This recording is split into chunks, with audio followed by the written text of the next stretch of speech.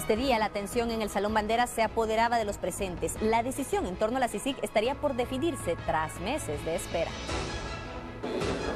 En un ambiente rodeado de expectativa, en donde predominaba la atención de los asistentes, se efectuó en el Salón Banderas, ubicado en el interior del Palacio Nacional de la Cultura, la presentación del informe elaborado por la instancia coordinadora de la modernización del sector justicia en torno a las recomendaciones respecto a la prórroga de CICIG.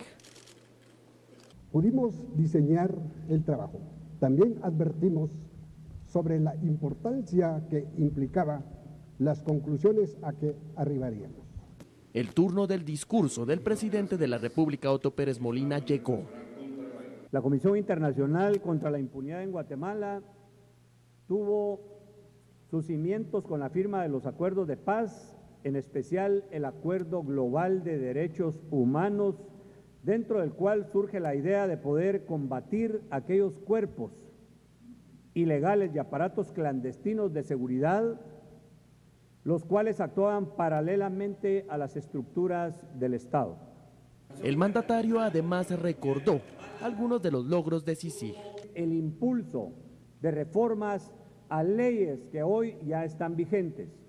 Desde el 2007 a esta fecha según el estudio que tuve la oportunidad de revisar anoche, hay 10 iniciativas que ya fueron convertidas en ley, en las cuales de una u otra forma hubo participación, hubo sugerencias o propuestas de parte de la CICIG.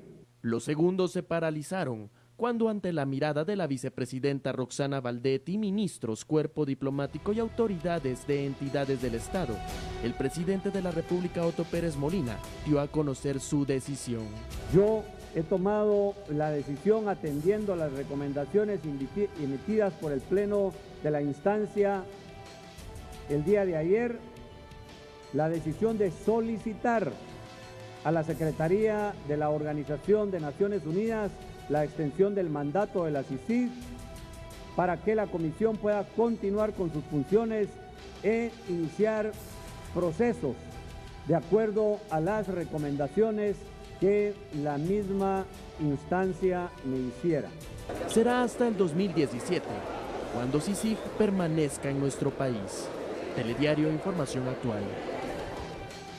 Y llegó el turno del colombiano a cargo de la CICIG, quien aprovechó la oportunidad para remarcar su compromiso. Finalizado el discurso del mandatario Otto Pérez Molina, el titular de dicha instancia, Iván Velázquez, aseguró que la Comisión Internacional contra la Impunidad está comprometida a consolidar las instancias del sector justicia.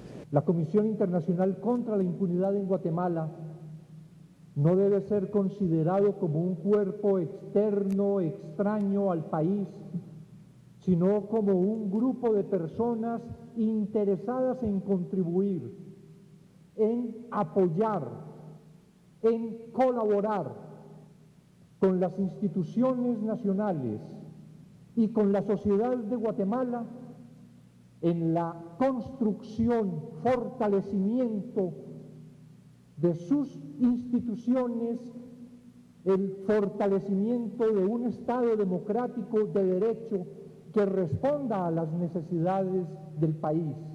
Velázquez recordó que CICIG ha recibido muchas críticas debido al desconocimiento que se tiene respecto a la institución. En ese propósito, estamos dispuestos a entregar todo nuestro esfuerzo, toda nuestra dedicación, todo nuestro tiempo a colaborar con los guatemaltecos el comisionado de CICIG recordó todos los mecanismos que dicha entidad ha implementado dentro de las instancias del sector justicia para erradicar la impunidad. Además indicó que la decisión tomada por el presidente de la República de prorrogar el mandato de la entidad es una muestra de voluntad política. Telediario Información Actual. La decisión congratuló a los presentes, en especial al cuerpo diplomático. Era una decisión de él.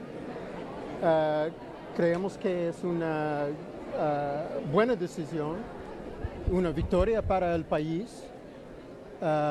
nosotros vamos a continuar apoyando el gobierno, tanto el gobierno como la comisión, en la lucha contra ah, la criminalidad.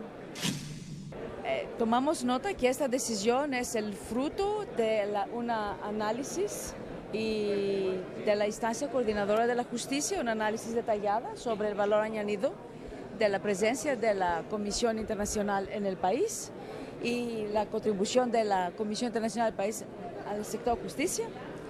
Compartimos el criterio del presidente que la presencia del CICIG para dos años más